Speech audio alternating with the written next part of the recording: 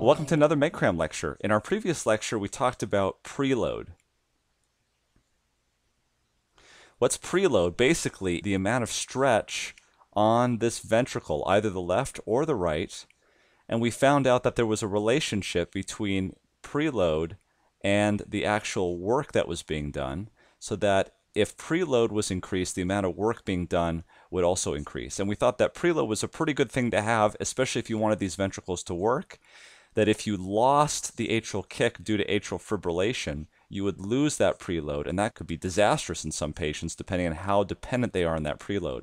But we also talked about the fact that sometimes preload's not all that great, and that if you have a lot of preload, especially in coronary disease, that increased preload will decrease your coronary perfusion pressure to your myocardium, and that there's some medicines like nitrates that actually reduce the preload by causing venodilation and reducing the pressure in these areas like the right atrium and the left atrium. Now I want to kind of switch gears and talk about afterload. We kind of alluded to this before, afterload as opposed to being the amount of fluid in the ventricle or the amount of volume in the ventricle prior to contraction. Afterload, basically speaking, is the tension that must be overcome to have ventricular contraction. So I want you to think about this as though it was the resistance to the heart contracting. So think about this as aortic resistance, aortic impedance. Think of this as the total peripheral vascular resistance. Also think about viscosity of the blood. So if you have a hematocrit that is greater than 55. Think about that as being the problem. The thing that you'll see quite a bit is this law of Laplace. And basically that is that tension is equal to the pressure and the radius divided by 2h. And this is kind of what happens in hypertensive heart disease tension is basically the amount of contractile forces that have to be done in the heart to to generate that pressure, to generate that force. P is the pressure that has to be generated against. This is kind of the afterload, if you will. R is the radius of the inside diameter of the ventricle, and H is the actual thickness of the myocardium. So if we were to draw a normal myocardium, what would this look like? T is kind of the, the tension that's around the entire heart, okay? P is the pressure that's being exerted in the middle. R is the actual radius of the of the ventricle. And so you can see here that if the pressure goes up because someone has systemic hypertension, if the pressure goes up here, you can see that tension has to go up here. The heart doesn't like that. The heart wants to keep tension at the same rate. So it has two choices. It's got to drop the radius and it's got to increase the actual thickness of the myocardium. And so by doing that, you can see here that one of the compensatory mechanisms is to thicken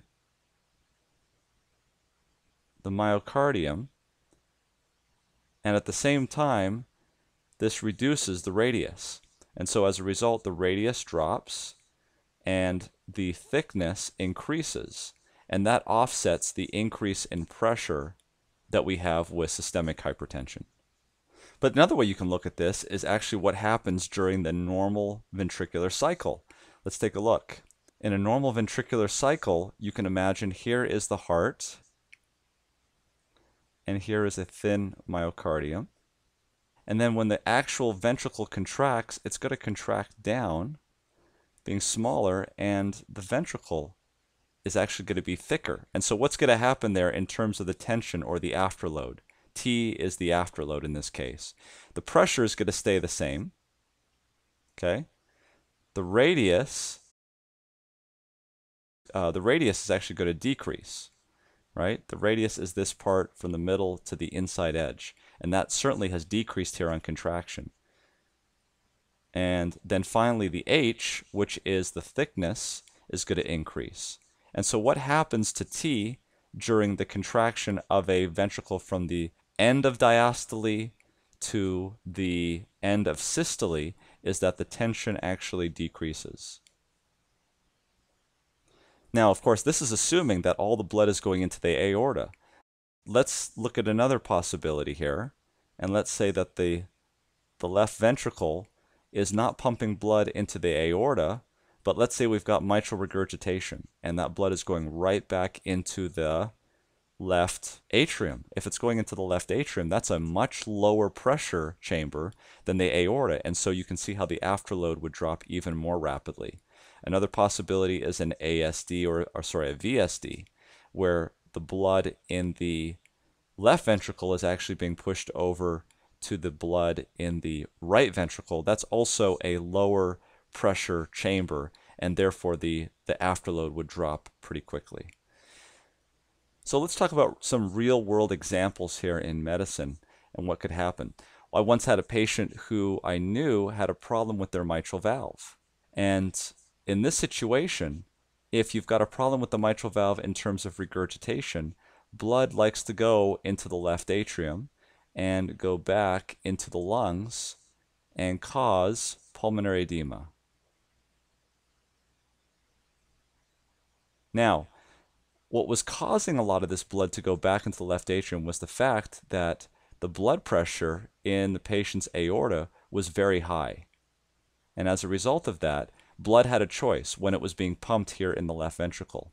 It could either go out through the aorta where it was supposed to, and of course it wasn't going to do that as much because the blood pressure was high, or it could go back, as we mentioned, into the left atrium where the blood pressure is much lower. And so it has a choice. Now, because the blood pressure in the aorta was much higher, a lot of the blood was going back into the left atrium and it was causing pulmonary edema. And this patient, you could tell, was having frothy pulmonary edema, was coughing up pink frothy sputum, was in a lot of distress, and as a result of that, the blood pressure kept on getting higher and higher and higher. And as it got higher, more and more blood was going into the left atrium. So what I did for this patient was I put them on something called CPAP, which is continuous positive airway pressure, and that put pressure on the alveolus to push the fluid back so that the patient wasn't struggling to breathe. It also made their lungs lighter because I was pushing fluid out of their lungs back into the pulmonary vein. The next thing I did was I gave the patient some labetalol. Now, labetalol, as some of you may know, is an alpha 1 and a beta blocker. Nonspecific. And so what happened here is because it's an alpha blocker, is I was able to dilate the peripheral vasculature and reduce the blood pressure in the aorta. And as a result, more blood started to go through the aortic valve into the aorta. Why? Because I decreased afterload. And by decreasing afterload, I was able to allow more cardiac output to come into the aorta and less to go back from the left ventricle into the left atrium.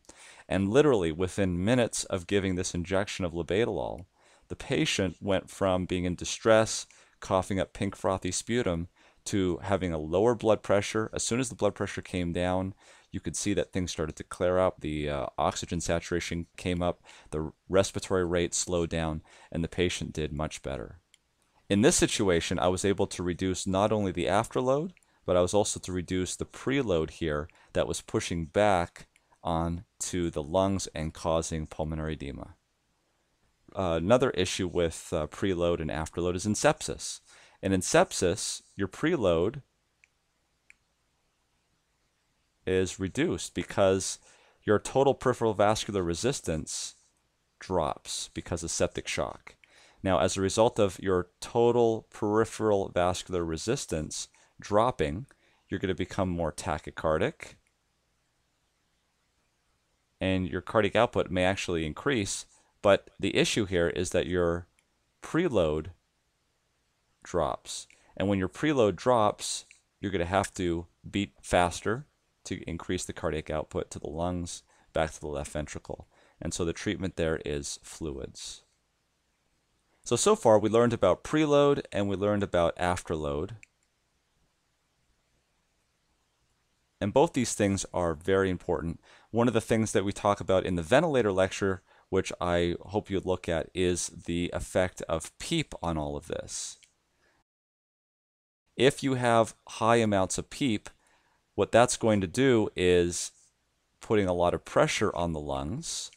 That's the positive end expiratory pressure. Remember what that's going to do is that positive end expiratory pressure is going to make sure that the lungs are at a higher pressure. Well, the thing you've got to remember is is that especially the right side of the heart sits in the same area as the lungs, and therefore the pressure will also go up in and around the vena cava. Now, as you recall, in the venous system, things go from a high pressure system and they flow down to a low pressure system. So this is the, the peripheral veins, and this is actually where the heart is.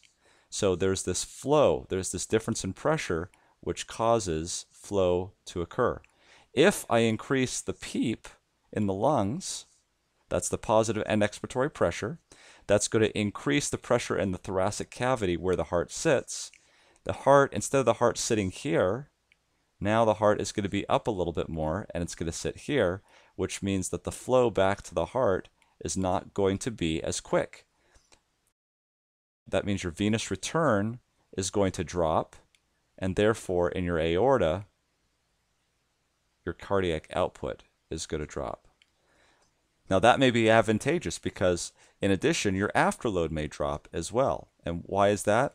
Because the left side of your heart also sits in the thoracic cage. And as a result of that, if this is the pressure that your left ventricle pumps blood at, and this is the pressure in the aorta, so this is aorta, and this is the pressure at left ventricular end diastole, or the LVEDP. So this is the pressure in the left ventricle right before contraction. That means every time the heart contracts, it needs to bring the pressure up to that of the aorta before the aortic valve will open and blood will enter into the aorta. Well, if I put PEEP on the patient, that means the lungs are going to be at a higher pressure, and because the left ventricle is sitting in there, that means now instead of the left ventricular end diastolic pressure being here, it's also going to be increased to this level. And as a result, the afterload, which used to be this, is now going to be this. So here's the bottom line with PEEP. PEEP decreases not only the preload, but it decreases the afterload. So PEEP may be very beneficial in patients with congestive heart failure because in congestive heart failure, you have a problem with too much preload and you have a problem with too much afterload, and it reduces both. However, in sepsis or dehydration, where preload is a problem being low and you want it to be high, PEEP may actually cause problems and drop blood pressure. Okay, so we talked about preload and afterload, and I hope those terms have been clear to you because we'll use those in the future when we continue to talk on congestive heart failure. Thanks for joining us.